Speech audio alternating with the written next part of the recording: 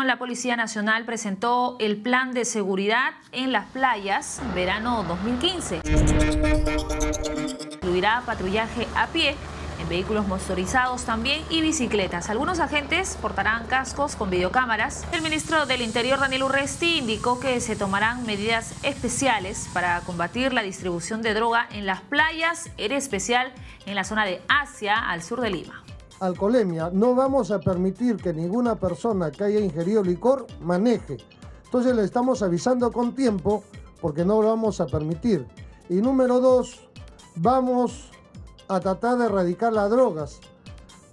Tanto en la playa del sur, que acabo de decir, entre el kilómetro 34 y el cuarenta y tantos, como en Asia.